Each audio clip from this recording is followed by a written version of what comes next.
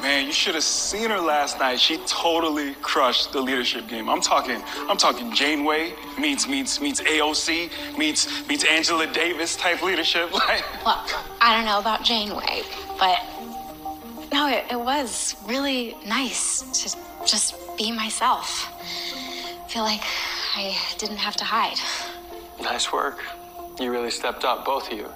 And if Hoshi or Rollins make any more moves, obviously I've got your back. Thanks. So, how did it go on Lian Yu?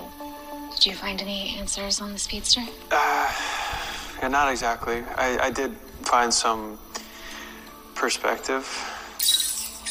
Incoming video message. Hey guys, I wish I could have come back to Star Labs to tell you all this in person, but I can't go back there. Not yet. Barry, when you left my apartment, I wasn't sure how to feel. And the truth is, I'm still not. I just know it hurts.